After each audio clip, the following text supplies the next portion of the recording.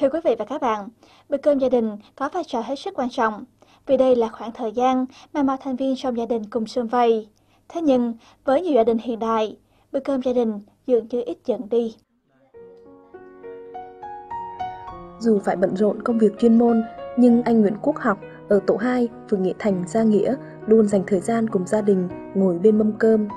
Đây cũng là lúc để anh thể hiện sự chăm sóc, yêu thương vợ con. Với anh Học, việc dành thời gian san sẻ, quan tâm vợ con chính là sợi dây gắn kết tình cảm gia đình.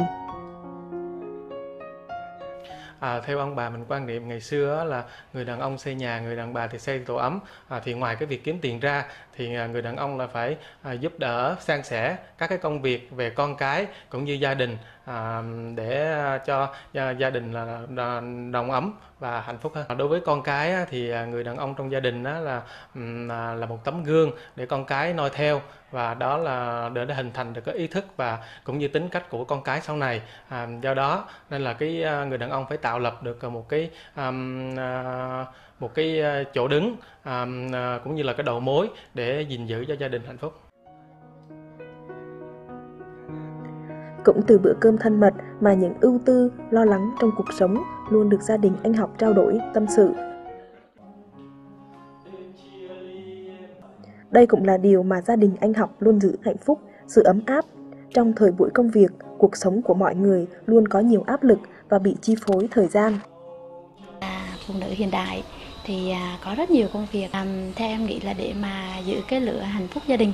À, trong một gia đình thì à, à, mình phải dung hòa biết dung hòa. À, tất nhiên là vợ chồng thì cũng có những lúc à, à, lúc này lúc kia lúc nóng lúc lạnh. Người này nóng thì người kia phải biết là à, giảm giảm lửa. Ngày à, gia đình à, gia đình thì cũng mà chúc à, tất cả các chị em phụ nữ luôn à, giữ ấm à, gia đình của mình bằng à, những tình yêu thương.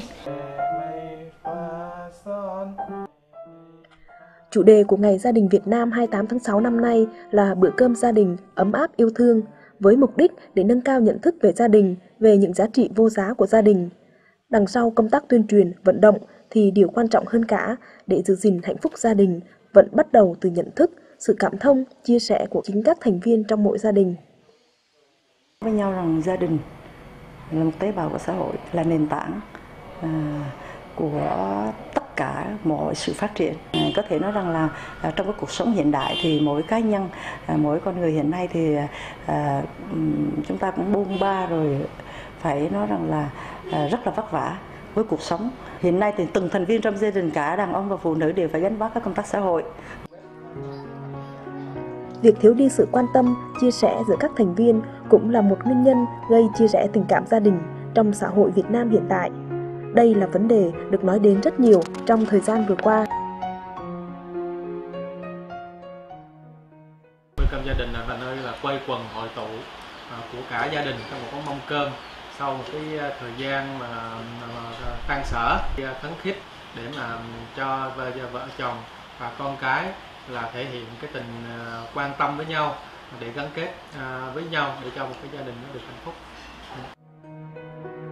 áp lực của cuộc sống đặt ra nhiều thách thức cho gia đình hiện đại. Vì vậy, dù chỉ diễn ra trong khoảng thời gian ngắn, nhưng bữa cơm đầm ấm cũng đủ để góp phần giữ gìn hạnh phúc cho các gia đình.